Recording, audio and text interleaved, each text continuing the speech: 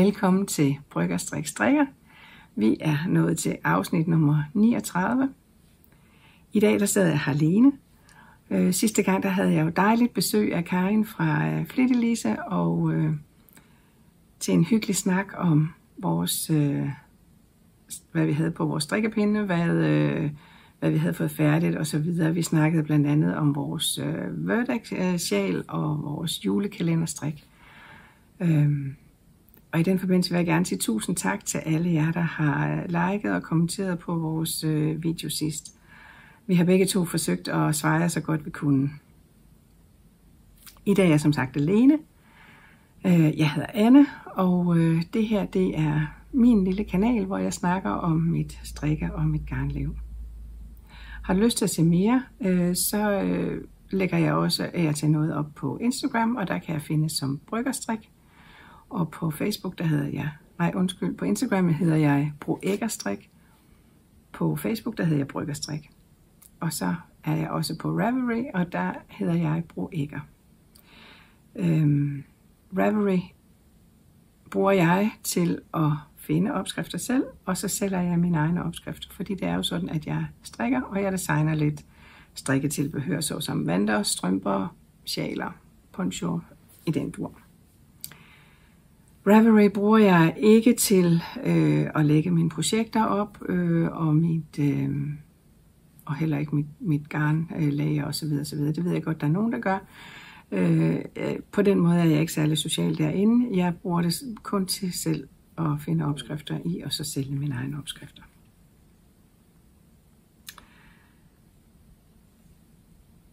I dag der skal vi snakke om det, som vi plejer, hvad jeg har på, hvad der er på pindene, hvad der er blevet færdigt. Jeg har fire ting færdige siden sidst, øh, øh, og så har jeg en del på pindene, og så vil jeg også øh, sådan lige snakke lidt om, hvad der er af planer, og jeg har lidt, jeg gerne vil vise jer, nogle ting, jeg har købt. Så nu tager jeg lige en tår te, og så, øh, så går vi i gang.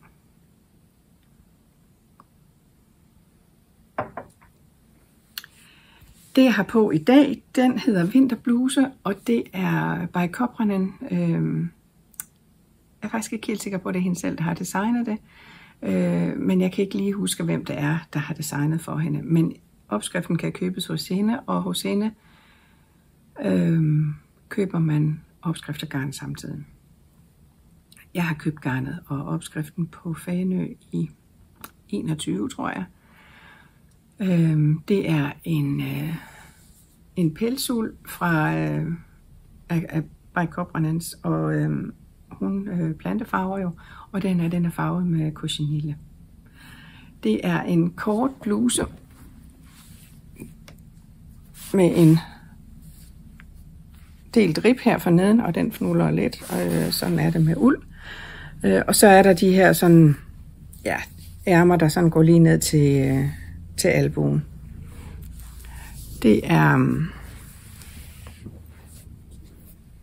jeg tror, jeg har brugt 200 gram øh, til at strikke den her. Det er en one size, og jeg har strikket på en 4,5.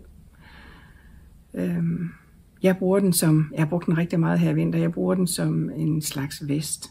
Jeg er ikke til, til rigtig veste, hvor, hvor, man, hvor det ligesom er, ikke er nogen som helst ærmer i. Altså jeg, jeg kan godt finde på at bruge mine kortærmede øh, uldbluser til, øh, som en slags vester også over mine kjoler. Øh, og så den her, som, øh, har været rigtig dejlig her i vinter. Og nu synes jeg bare, at den har en fin og frisk farve, så, øh, så det var det, jeg havde lyst til at have på over min blå kjole i dag. Det var, hvad jeg havde på. Øhm, og i øvrigt, øh, By han øh, designer jo øh, en masse fine øh, ting, og hun farver noget virkelig, virkelig fint og lækkert garn. Altså det her, det er en rigtig uld, og jeg vil jo sige, den er, nu er jeg jo overhovedet ikke øh, uldforskrækket. Øh, så jeg, jeg kunne godt have det ind på min, min krop, men det her, det, det har jeg jo ikke. Altså man kan jo sige, at jeg har den selvfølgelig lidt op i halsen, fordi den går jo, min, min kjole har sådan et V. Det generer mig overhovedet ikke. Altså jeg synes, øh, det er en blød og lækker uld. Øh, men det er en ren uld, og det er en pelsuld. Hvad har jeg fået færdigt siden sidst? Øh, Jeg har strikket et par strømper til en af mine sønner, Niels Peter. Niels Peter han øh, har lige fået job øh, på Sjælland. Det er jo ellers den øh, lille familie, som har øh, øh, to piger, øh, bor i Aarhus. Det er dem, der har Eva og, og Barbara. Og nu skal de flytte til Sjælland. Det, øh, det er bedstemor jo ikke sådan super glad for. Jeg er dog rigtig glad for, at, at, øh, at de kommer til det, de rigtig gerne vil. Hvis Peter skal være præst i øh, en kirke i Odsherred, så øh, jeg har strikket et par præsterstrømper til ham. Eller et par mørke strømper. Altså, der kan han jo dårligt komme med, det kan han da godt, han kan da bruge dem derhjemme, han kan bruge dem i alle mulige andre lejligheder. Alle de der multifarvede, jeg har strikket til ham. Øh, men her, der får han et par fine mørke strømper. Og de er jo så ikke, de er jo ikke sorte, de er heller ikke blå. Når jeg nu holder dem helt tæt på, så kan man godt se, at der er et fint, fint spil i de her strømper. Øh, de virker mørke, og det vil de jo også gøre, når han har dem på. Jeg kalder dem præstestrømper. Det er jo bare vanillastrømper med sådan en øh, 3-1 øh, brudt rib. Hele vejen rundt på, øh, på benet, og så kun på oversiden på foden. Garnet, det er øh, den strømpeklub eller sokkeklub, der var hos øh, Cabbage Unit øh, sidste år, øh, hvor hun farvede øh, garn inspireret af fugle, altså fuglegarnklubben. Det her, det er februar måneds øh, fugl, og det var stæren. Og hvis man sådan ligesom tænker på stærens fjerdragt, med de, den chancerer nemlig i nogle blå-grønne farver i alt det sorte. Øh, og det er, jeg synes det er super flot farvet og lige fanget. Jeg har brugt 89 gram, så jeg har jo ikke at, at 100 gram sved. Jeg har ikke brugt nogen af, af kontrasterne. Dem, øh, der kom to kontraster med til hver øh, garnklub, og øh, dem har jeg bare lagt til side. Men jeg synes, de er blevet rigtig, rigtig fine til Niels Peter. Så øh, jeg håber, han bliver glad for dem. Og som sagt, så er det, det er den her lille snut, jeg har tilbage af det, det garn. Jeg kommer til at bukke mig lidt ned ind imellem, fordi jeg har, øh, der ligger ting rundt om mig over det hele. så så fik jeg en lille bestilling på et par halvvanter. Det var Anna, Dennis Peters øh, kone, og hendes mor øh, ønsker sig et par halvvanter og spurgte, om jeg vil strikke sådan et par til hende. Og det har jeg gjort, og vi skal ses her i weekenden. Så derfor har jeg skyndt mig at strikke det med den her uge. De ser sådan her ud. De hedder Pilea, og det er Hagenhus eller Hagenhuset, der har, der har designet. Jeg har strikket i øh, alpaka fra øh, G-uld, og det er også farvet på cochinille. Og hvis man siger, at det her det er farvet på cochinille, det her det er også cochinille, så er der jo stor stor forskel på farverne, så det, cochinille er jo ikke en farve, det kommer jo også an på, hvor, hvor kraftigt det er, og, og hvilket bad, og så videre, og så videre, hvad, hvad det er for noget garn, hvordan tager det imod øh, farven. Så, øh, men begge dele her er cochenille. Jeg synes også, det er en super, super fin farve. Og der er der også en, en nummer to. De her, de er ikke nået at blive vasket endnu, så øh, det, øh, det skal lige nu, altså de er klar. Det her, det er jo, det er ikke engang en brudrib, det er bare rib. Øh, og der er ingen kanter på. Det er, man slår op, strikker og lukker af heroppe.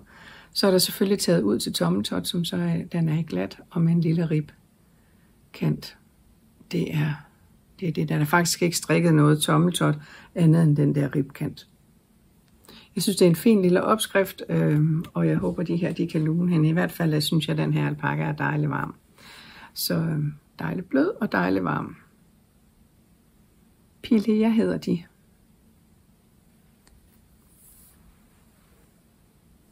Og der ser garnet sådan her ud.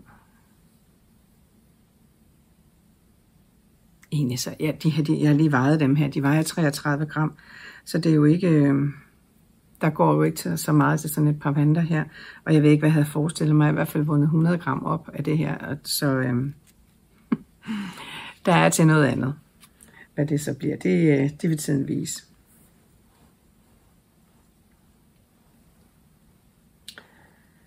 så er jeg også blevet færdig med min garden cardigan, og nogen af jer vil måske have set det på Instagram, hvor jeg har haft den på, og lige øh, vist den lidt frem.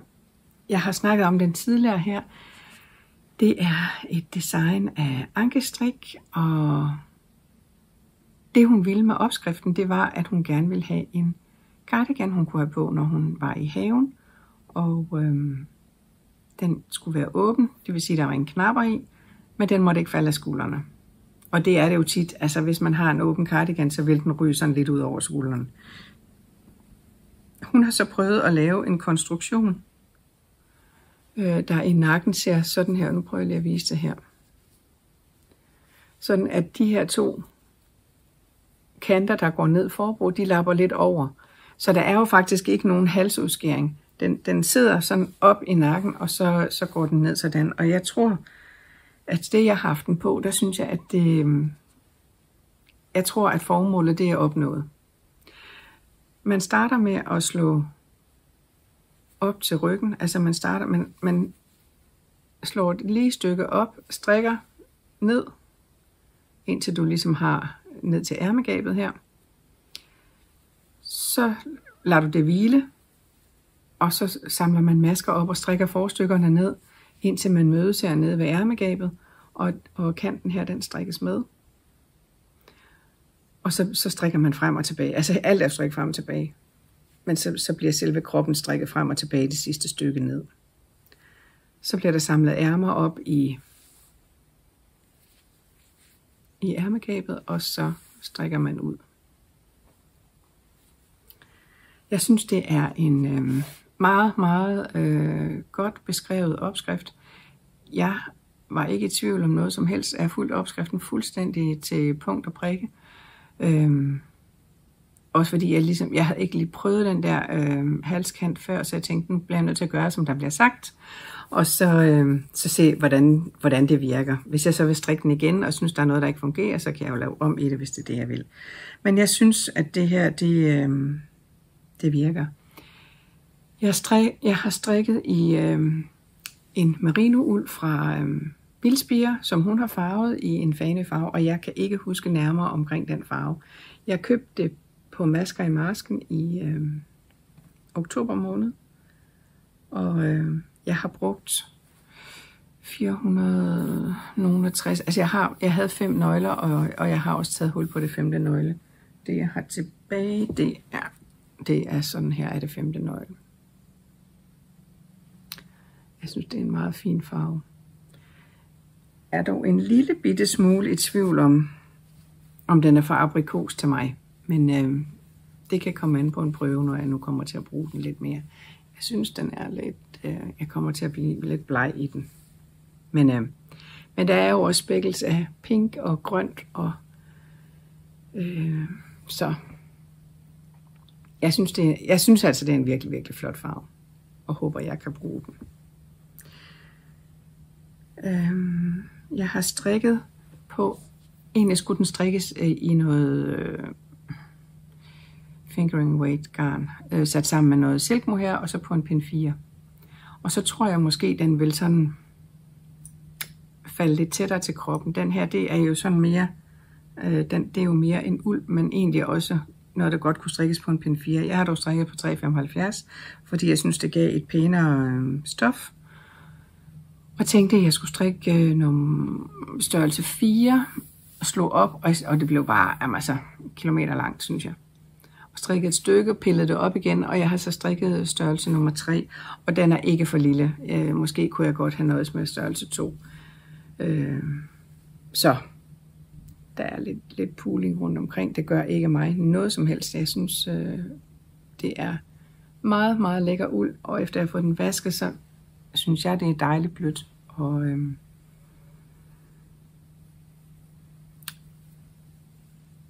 jeg glæder mig til at, at teste den lidt mere.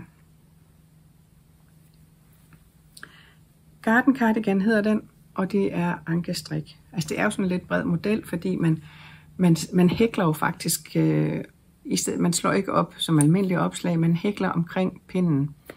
Øh, det har jeg ikke prøvet før, men, øh, men det, det var der en idé med, fordi man skulle ligesom samle op i de der øh, lykker. Og, øh, og jeg synes, det, det har givet et fint resultat, og også et resultat, der sådan øh, holder lidt på, på fasongen, så den ikke bare skrider fuldstændig ud i øh, over skulderen. Og det er jo sådan en drop shoulder, fordi øh, der er jo ikke taget noget som helst ind. Den er, er jo bare sat lige til de der ærmer. Så derfor hænger skulderen jo ned. Det, det er meningen, det skal den jo. Øh, men fordi den er hæklet, så, så ryger det ikke bare længere og længere ned, så ærmerne faktisk bliver for lange. Så øh, ja. Man kunne så vælge at strikke øh, to forskellige slags ærmer. Øh, en, hvor der var mønster hele vejen rundt, og så tog man ind i mønstret, og så var der øh, også en anden måde, hvor man havde et glat stykke herinde, den valgte jeg så, øh, og så tog man ud, øh, ej, ind, undskyld, øh, i det stykke der.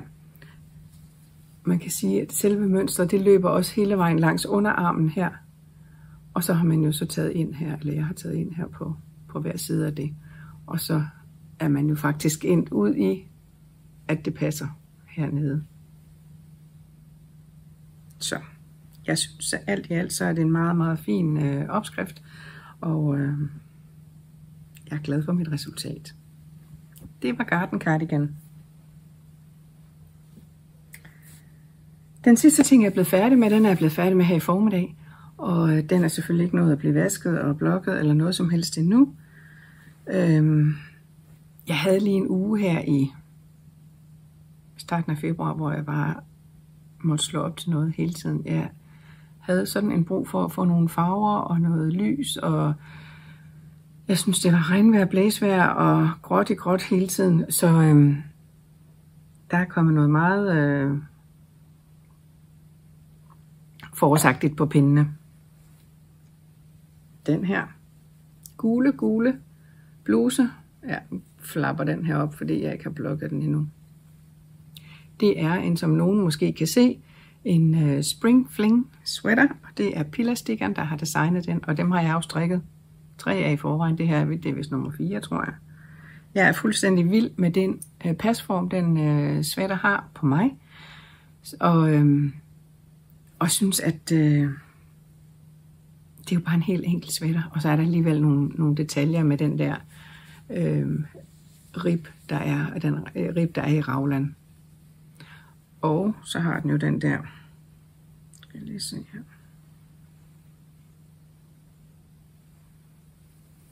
Hvis man ser her, det, det er jo det, den, den kan. At Ravland går ned, og så mødes her under armen og fortsætter ned i, i det der mønster. Så det er ligesom sådan et y, så er jeg selvfølgelig samlet op her og strikket ærmet ud. Så øhm, jeg har så tænkt, at, øhm, og jeg tror det er fordi, jeg har i en bog af um, La Bien Aimé, øh, som, hvor hun har samlet nogle opskrifter øh, sidste år, der hed Neons and Neutrals. Der så jeg en sweater, som var gul, og som havde lyserøde kanter, og den var så fin. Så derfor tænkte jeg, at det lød mig lige inspirere lidt af, og fandt en rest af noget lyserødt i mit øh, ganglager. Og det har jeg sat til kanterne blandt andet heroppe i halsen og på ærmerne og også her for neden. Jeg var meget spændt på, hvordan det ville blive for neden, fordi her har jeg jo, altså den er jo strikket i to tråde, en uh, fingering weight uh, garn og en, og en uh, silk her sammen, undtagen alle kanter. De er bare strikket enkelt. Uh, så øhm, jeg synes, det ser fint ud her ved ærmerne, det ser fint ud ved halsen, og så er jeg spændt på, hvordan det arter sig her forneden. Jeg har lukket meget løst af, så, så den kan godt give sig. Men om det kommer til at stramme for meget ind, det ved jeg ikke. Umiddelbart så tænker jeg ikke, det gør. Øhm, den her bliver jo også delt hernede, øh, ribben, og den, faktisk inden ribben bliver den delt. Så, så jeg tror ikke, det bliver for, jeg, det får den der rullepølse-effekt der. Øhm, men jeg synes, det kunne være meget fint, at det, det gjorde heller ikke noget, det strammede lidt ind. Og selve ærmerne, der har jeg overhovedet ikke taget ind. De er strikket lige ned. Og så har jeg bare øhm, gået over til den tyndere pind. De er jo strikket på pind 4, det her. Og så har jeg øh, strikket Ribben her, den tror jeg faktisk, jeg har strikket på pind 3. Både her og i halsen. For neden har jeg strikket på 3,5, og det er jo for lige at give den lidt mere hvide der for neden. Så ser vi, hvordan det, det kommer til at fungere.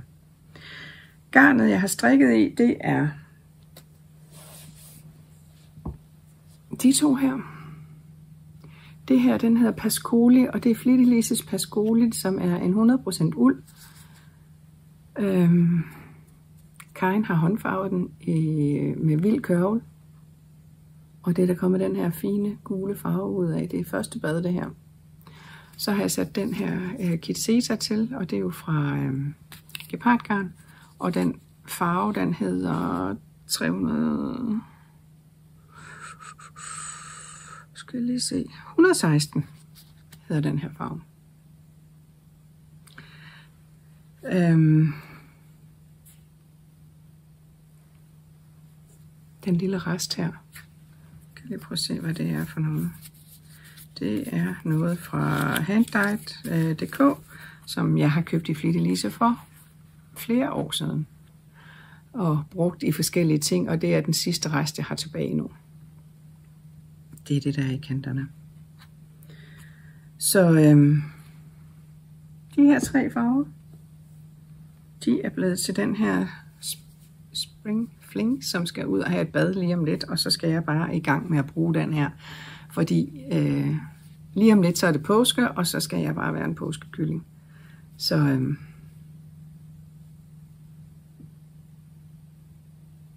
ja, jeg er så tilfreds, så tilfreds og glad, og da jeg prøvede den i går aftes, med, lige for at se, om jeg var ved at være der, hvor jeg skulle til at lave kant øh, for neden, der var jeg bare sådan, yes, den sidder bare så godt.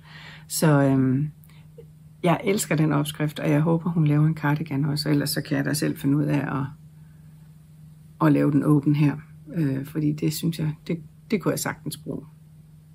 Cardigans kan man altid bruge.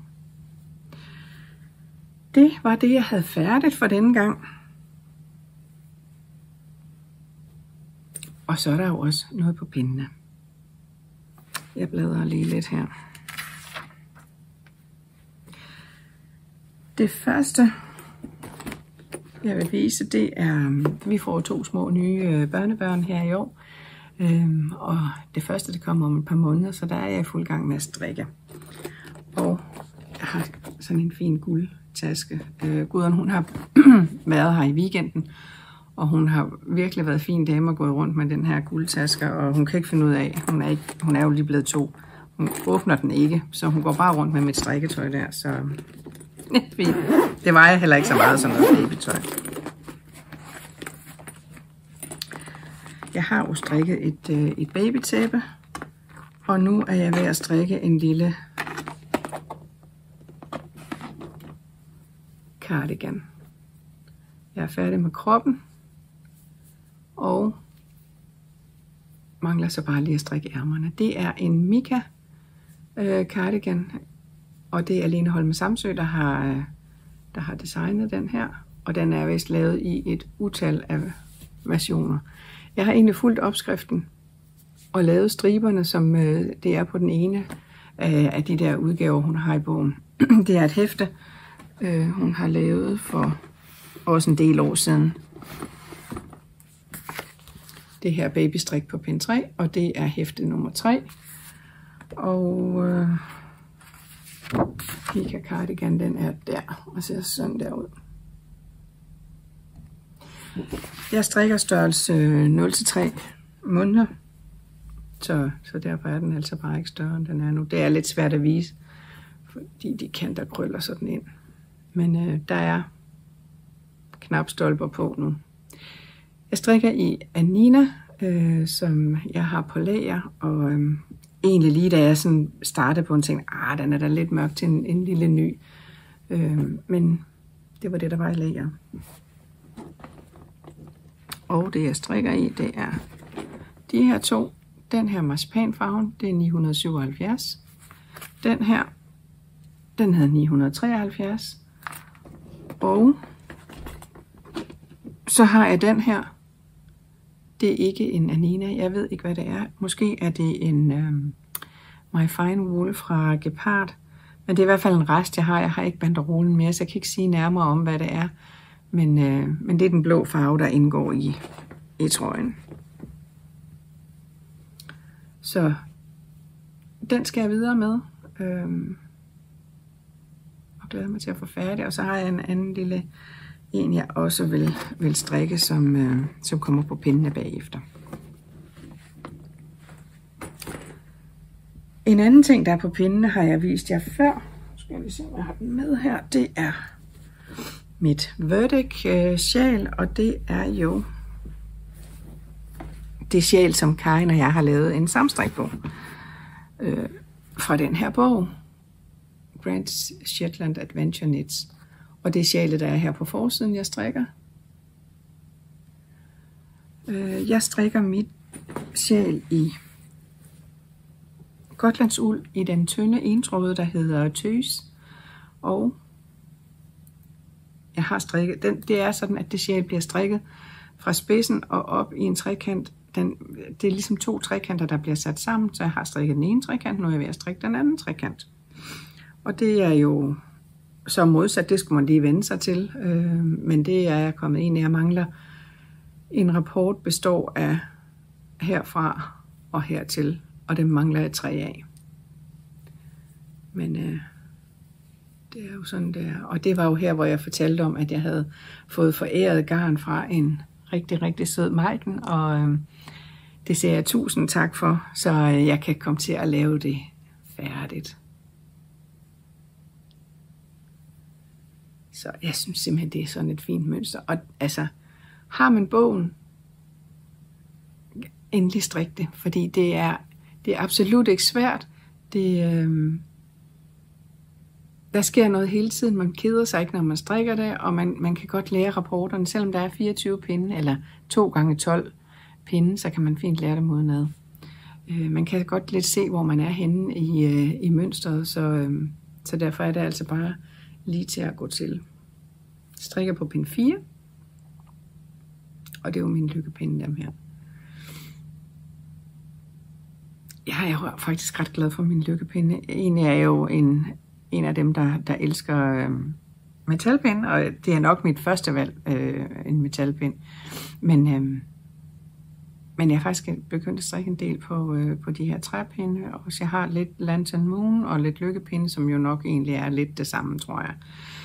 Øh, men det, som jeg elsker allermest, det er de der fine wire, der kommer med, med Lantern Moon-pindene, fordi de passer også til lykkepindene, og de er geniale. Altså, de er 100 gange bedre end, en lykkepindenes øh, wire. Så, øh, så den bruger jeg der til.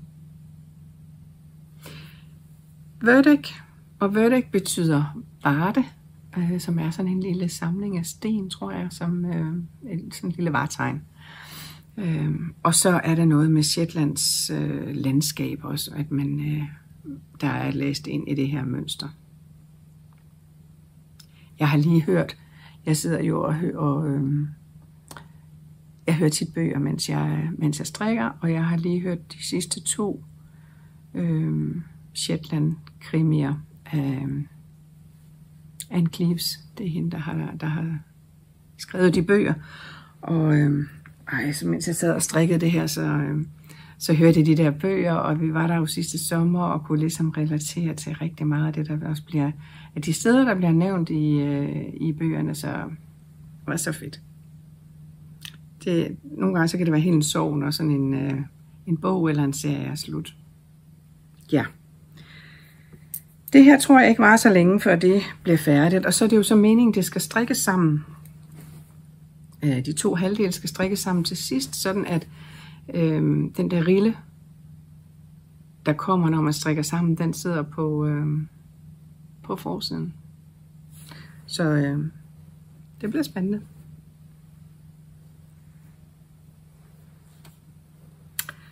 Så har jeg også en anden ting, som jeg har vist jer før, og det er min Flora-jakke, og den går der altså lidt langsomt med, fordi at der hele tiden suser noget andet ind over. Øhm, og det er nok også lidt, fordi jeg er over det, det spændende i jakken. Flora-jakke. Den ser sådan her ud. Det er Venke Roald, der har designet, og det er sådan en, øh, en anden slags øh, kant, hvor der egentlig bare er perlestrik øh, heroppe, og det øh, er så meningen, at jeg tror, det skulle almindelig rib for neden og øh, ved, øh, ved ærmerne. Og jeg tror egentlig, jeg vil fortsætte med den her øh, perlestrikkede kant, fordi jeg synes også, det kunne være pænt øh, for neden. Og knapkanterne skulle også være perlestrikket, så derfor giver det, synes jeg også, det giver god mening at lave det de andre steder. Måske har hun valgt ikke at gøre det, fordi den måske godt kan bukke lidt op, men øhm, ja, jeg ser lige, hvordan, hvad jeg gør der. Men den har jo det her fine, fine bladmønster på overdelen. Og så er det jo bare, det der er ved det nu, det er, at det bare er glat strik, glat strik og bare glat strik derud af. Og så kommer ærmerne derefter, så jeg synes, og det er på pind 3. Og det er ikke, fordi jeg elsker faktisk at strikke på pind 3, men det tager bare den tid, det tager. Men på den anden side, så er det et, sådan et strikketøj, der er godt at tage med, hvis man skal noget, fordi man skal jo ikke tænke, det er jo bare, øh, det er jo sagtens være social, mens man sidder og strikker på det her. Det er jo meningen, at den skal klippes op, og så øh, have strikket kanter på øh, bagefter. Det der med opklip, det er jeg jo lidt spændt på, fordi det her, det er jo en øh, supervårsbehandlet uld øh, fra øh, Painters Yarn. Den her, og jeg tror lige, jeg skal se, hvad er det er, den hedder. Den hedder Sparkling Merino, og i den farve, der hedder Natural. Og der er ligesom sådan lidt, lidt kovertråd i, og det er altså meget svært at vise her på. Men jeg synes, det er en super flot farve. Og så den, jeg har sat til, det er også en merino fra Knit by Moltrup i den farve, der hedder Midnight. Og den, det gør jo, at det chancerer simpelthen så flot, fordi den er håndfarvet.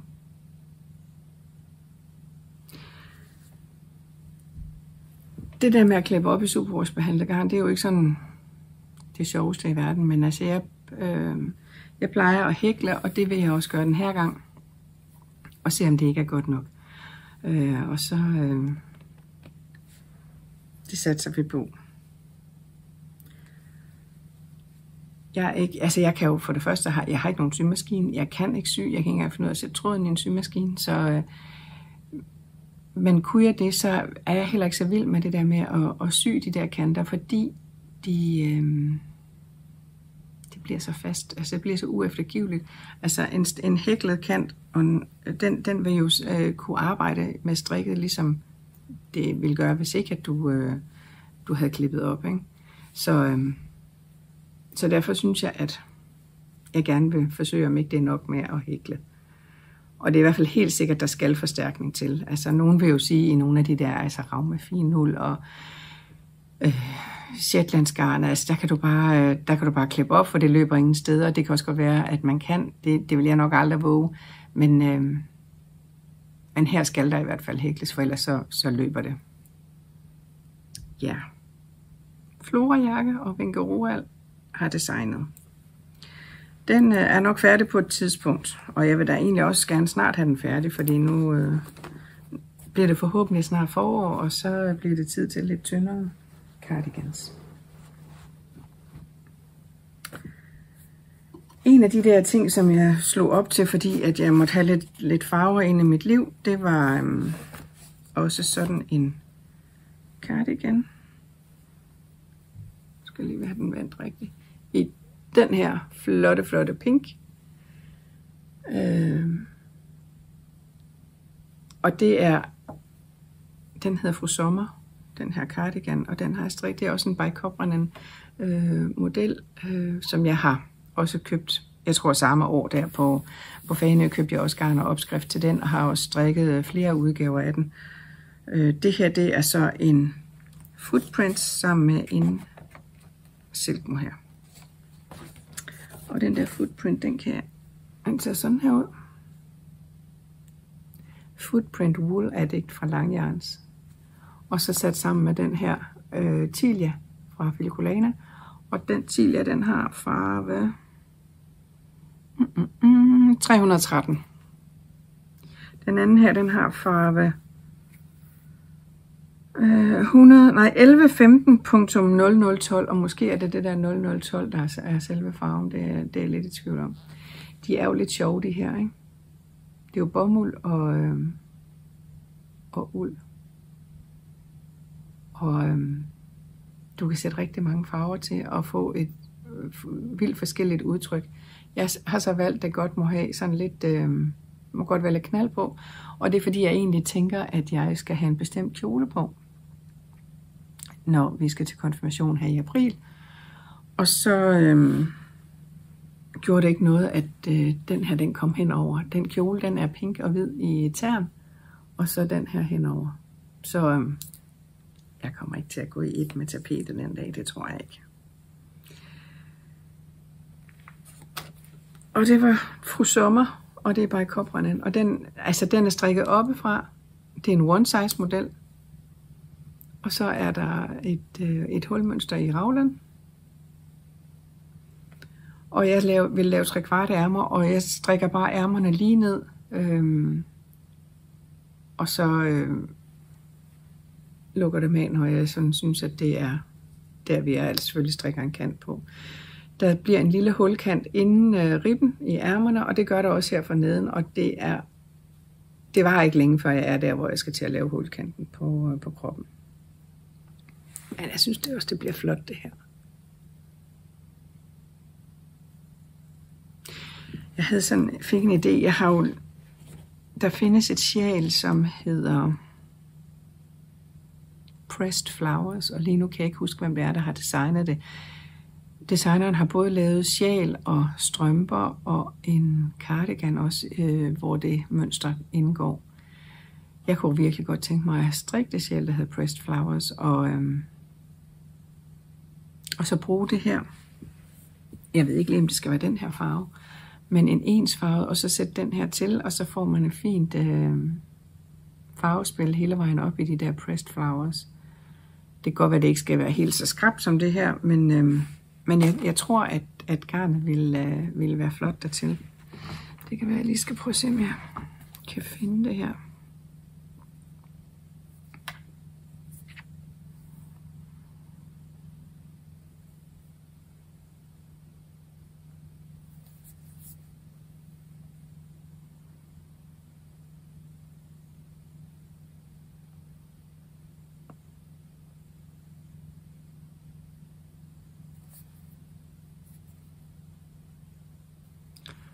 Selve sjalet ser sådan her ud. Og her er det jo ligesom en, to ensfarvede, der er, der, er, der er strikket op. Men jeg har set nogle strikkene, hvor det har været øh, changerende farver, øh, hvor det har været noget håndfarvet garn af en eller anden slags, eller noget farveskiftegarn, øh, som har gjort, at, at de der øh, blomster, de ligesom får skifter farve, og det ser altså også virkelig fint ud. Så øh, det kunne godt være noget, jeg havde lyst til. Ja. Så er der selvfølgelig også mit øh, julekalenderstrik. Det er jo stadigvæk på pindene, og jeg mangler, ud af de 24, så tror jeg, jeg mangler 8, 8 farver at strikke op. Men ja, og allerede nu synes jeg bare, det er blevet voldsomt langt. Øhm, men øhm, sådan er det. Det gør ikke noget. Jeg strikker alle farverne op, også selvom jeg måske synes, det bliver lige rigeligt langt. Det gør ikke noget at have et meget stort øh, tørklæde, man kan putte sig lidt i.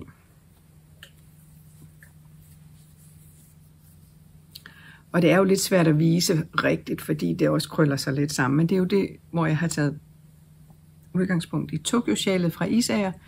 Øh, som, og jeg, jeg følger sådan set opskriften med at strikke to brede felter der vil, altså det er jo omvendt øh, glat, og så et, et, et kort felt.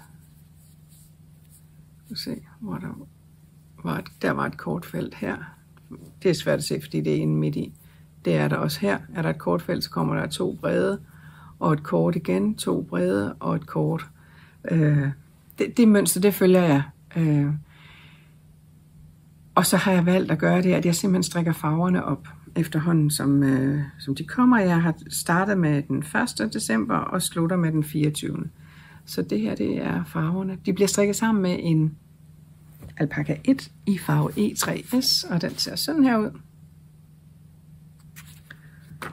Og det gør jo, at det for mig også kommer til at hænge lidt bedre sammen, og det får også en, en lidt anden øh, tyngde og tykkelse. Så sådan her ser det ud indtil videre. Og så er det der, vi er. Jeg synes, der var lige sådan en sektion med meget mørke farver her. Og det synes jeg altså godt blev lidt... Øh, en lille smule kedeligt. Men... Øh,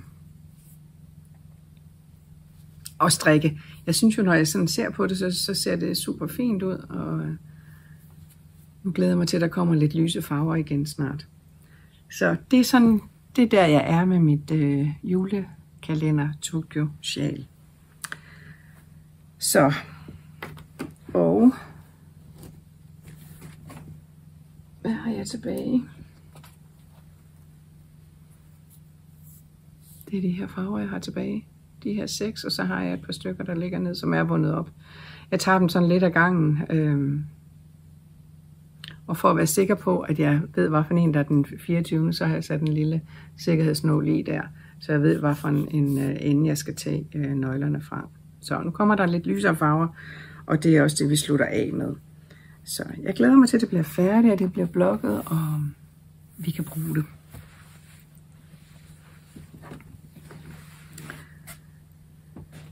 Det tror jeg sådan, at det jeg sådan aktivt øh, strikker på lige nu. Og Ja. Så har jeg altså en ting mere på pindene. Den har øh, ligget og overvintret. Jeg ved ikke, hvordan jeg fik lyst til i efteråret at starte på en sommertop, men det, øh, det gjorde jeg. Øh, jeg købte noget garn, som jeg synes er virkelig, virkelig lækkert. Det er det her Elise garn. Det er øhm, 90% bomuld og 10% kashmir. Og så kan det strikkes på en pind 3. Måske. Hvis man er til det. Øh, det her tror jeg faktisk, jeg strikker på 3,25. Det kan jeg heller ikke helt forstå, hvorfor jeg gør. Jeg startede ud med for lang tid siden, der, øh, eller sidste forår tror jeg, at jeg købte opskriften på Brinety fra Knitting for Olive, og jeg købte også garn til det, og kom aldrig i gang med den, og så har den ligget lidt, så tænkte jeg, det kunne jo strikke den, bruge det garn til at strikke den i. Og det har jeg slået op til, og så langt er jeg kommet. Og så har det bare ligget. Altså det har ligget hele vinteren. Og nu synes jeg bare, at det er det er forløst i det. Øhm, jeg tror på en eller anden måde, altså halsen ser også mm, pænt stor ud, ikke?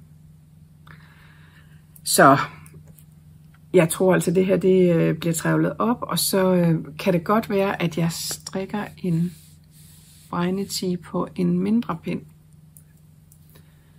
Måske gør jeg det, måske øh, vælger jeg en, en anden opskrift. Og det er sådan, jeg vil jo gerne være med at være topberedt, og, øhm, og det var vist sådan, at man godt måtte finde nogle... øhm, projekter frem, som man ikke havde færdiggjort og færdig, og så få dem færdige den her gang. Og så derfor tænkte jeg, at det her det var oplagt at tage op og gøre klar her til den 1. marts, så jeg kan være med på det. Jeg tror, jeg trævler det op, og så er jeg klar til at starte på, på en ny. Om det så bliver den her, eller det bliver en anden, det, det, øh, det må tiden vise. Jeg tror, det i efteråret. Jeg forelsker mig fuldstændig i den her øh, grålilla farve. Og jeg synes stadigvæk, det er en vild flot farve. Og det skal også nok blive til en, øh, en t-shirt af en eller anden slags. Øh, det er bare ikke sikkert, det bliver bregnet til. Men jeg har faktisk også tænkt på, øh, at jeg vil øh, strikke en, der hedder Sambubuti. Og det er Nadia Gretan Lechen, der har... Nå, hvorfor vil den nu ikke noget her? skal jeg lige prøve at se, om jeg kunne finde den.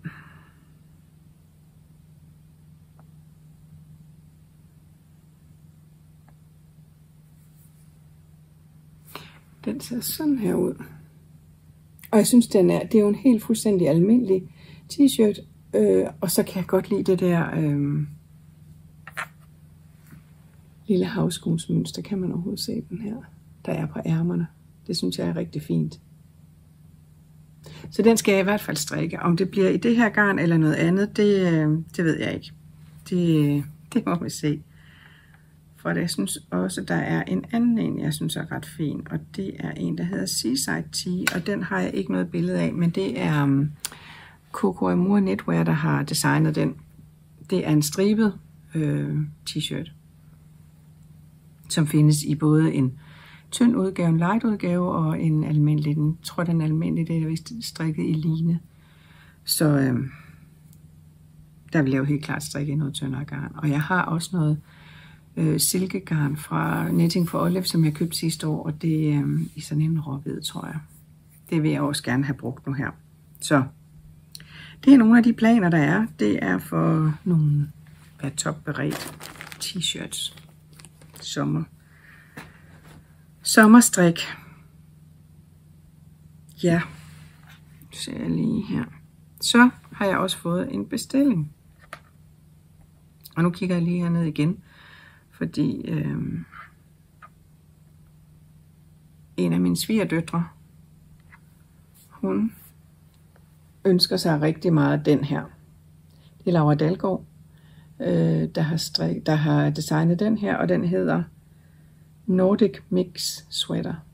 Og den er strikket i fibel fra Rauma. Og Maria, hun ønsker sig den i de her farver også. Øhm, jeg tror, det bliver et lidt større øh, projekt. Jeg tror til gengæld også bare, at det bliver så sjovt at strikke.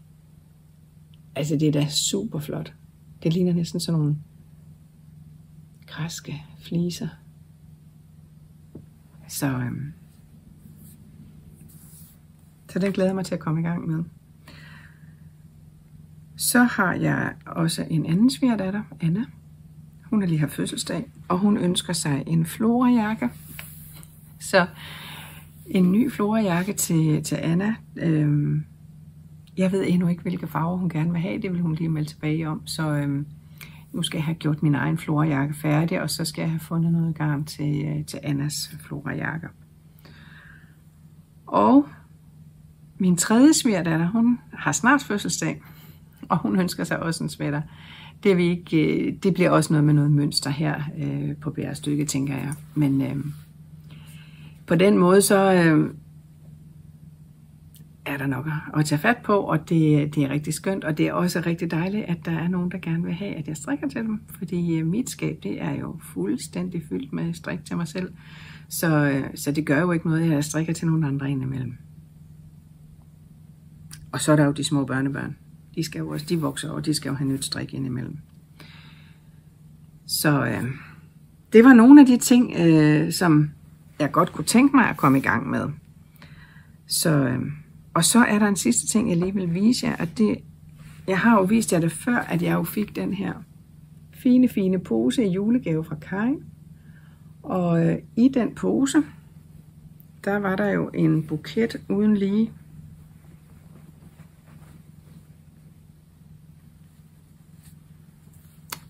af fint garn. Alt sammen farvet med svampe. Og det kunne jeg godt tænke mig at komme i gang med. Prøv lige at se. Der er altså også en lille bitte svamp der, som maskemarkør. Altså, at, hvis ikke den er nuttet, så ved jeg ikke hvad. Posen er jo også farvet med svampe. Og det er jo Anne Moja, og lige nu kan jeg ikke huske, om det er, hvad hun også hedder plantefarver måske. Det er jeg i tvivl om. Men øhm, når jeg så sidder med de her farver, så synes jeg måske øhm, ikke, det er dem alle sammen, jeg sådan er, der klæder mig fuldstændig. Men man kunne godt sætte noget til, som øhm, måske vil få det lidt mere i retning af, af noget, som jeg er lidt vild med. Og så er jeg ved at kigge i nogle minier, som jeg har købt hos Vildspire. Og det er jo også plantefarvet. Der har jeg sådan blandt andet dem her. Og der har jeg tænkt, sådan, den her kunne være flot sammen med. Så får den lige et, et twist. Jeg har også sådan en her. Den kunne også være fin. Så er der den her. Den er jeg måske ikke så god til. Der er sådan en her. Måske heller ikke lige.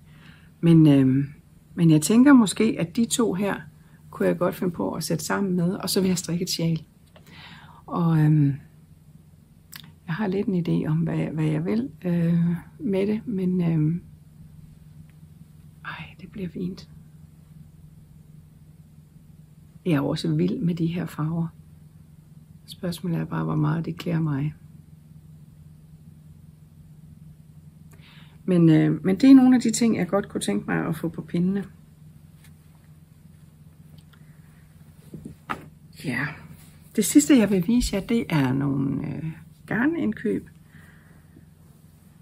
som jeg har, altså jeg har, det snakkede jeg jo også lidt om for forrige gang, at øh, jeg har jo ikke øh, det sted garnkøbestop, fordi det, øh, det vil ikke fungere for mig. Altså jeg vil simpelthen blive så træt af det. Og øh, nej, al respekt til dem, som, som har det, men øh, på den anden side, så vil jeg jo rigtig gerne bruge af alt det fine garn, jeg har. Så, øh, så derfor prøver jeg at begrænse mit, øh, min garnindkøb. Og jeg begrænser også lidt de, øh, altså der er jo et væld af garnfestivaler rundt omkring i, i landet, og de er jo øh, så småt gået i gang. Kreamesser, og jeg ved ikke hvad. Øh, jeg har ikke rigtig været til noget endnu, og det er øh, også lidt med vilje, fordi jeg ved, at jeg kommer til at købe noget, når jeg er der, og jeg mangler ikke noget. Jeg har dog nogen, jeg gerne vil til, og blandt andet vil jeg gerne til Fiberfolk i Vejle, og det, øh, det er i marts, den 16. marts. Så hvis nogen af jer øh, også er der og ser mig, så kom endelig hen og sig hej. Det, øh, det vil jeg blive rigtig glad for. Men som sagt, så er der jo ikke noget garnkøbestop, så da et Sjern lagde op, at øh, i forbindelse med, at dronningen øh, abdicerede, øh, besluttede de, at deres øh, januar øh, sokkeklub var Daisy-inspireret, og det var jo i, inspireret af en kjole, som dronningen havde på i nogle gule og hvide farver. Og det her, det er hvad der kom ud af den. Det kunne jeg slet ikke stå for. Der er lidt guldglimmer i, øh, i kontrasten. Men ellers så er den sådan gul-grøn, også som, som Daisy jo er. Super, super fint, synes jeg. Og det var som sagt øh, ja, hyldes til Daisy, og det er It's for Socks, og det er Garnklubben for januar. Og så var det jo det, at øh, sidste år der købte jeg jo alle øh, fuglene i øh, Camejos øh, sokkeklub. Og det var jo, der var jo en hver måned, og øh, i år så har jeg ligesom bestemt mig for, at hver måned i år vil jeg strikke den fugl, der svarer til måneden. Og det har jeg jo gjort indtil videre. Og så tænkte jeg, så kan jeg nyde det med to år, så skal jeg ikke købe nogen garnklub i år. Det gik så kun lige indtil, at jeg så januar måneds øh, billede, som hun blev inspireret af, og den viste jeg sidst i nogle øh, rosa, lyserøde farver. I år er det svampe, som hun er inspireret af. Øh, så jeg har bestemt mig for, at jeg skal ikke nødvendigvis købe alle sammen. Jeg skal kun købe dem, hvor jeg kan se, ej, det her det kunne jeg godt øh, blive inspireret af selv øh, og nogle farver, som, øh, som jeg godt kan lide. Fordi jeg kunne godt forestille mig, at i svampe vil der også være nogle brune og ja, nogle farver, som jeg måske ikke tænder så meget på. Men februar måneds, den måtte jeg også have. Den ser sådan her ud. Og det er der bare forår for alle pengene her. Jeg synes, den er så fin. Og de to kontraster til. Svampen, den hedder Mm, Mycena epipter, epipterica. Ep, epipterigia, tror jeg. Og jeg ved ikke, hvad den ellers hedder. Men den er virkelig flot. Så, øh, så indtil videre, så, øhm, så har jeg jo købt begge garnklubberne i år igen. Øhm, i hvert fald fra januar og februar. Så må vi se, hvordan det, hvordan det udvikler sig. Så det er de indkøb, jeg har. Mm, ikke flere at vise jer denne gang. Så jeg synes også, jeg har holdt mig pænt tilbage her i februar. Jeg tror, nu kigger jeg lige her. Jeg tror, at øh, det var det, jeg gerne ville vise jer og snakke om den her gang. Så øh, jeg vil gerne sige tak for nu. Jeg håber, I har hygget jer og øh, fået strikket lidt, øh, mens I har set med. Og øh, hvis I har lyst til at abonnere, like, øh, så bliver jeg rigtig glad. Skriv en kommentar, så bliver jeg endnu mere glad. Og jeg skal nok forsøge at svare på alle, der, der skriver til mig. Så øh, tak for nu. Ha' det rigtig godt alle sammen, til vi ses igen. Hej hej!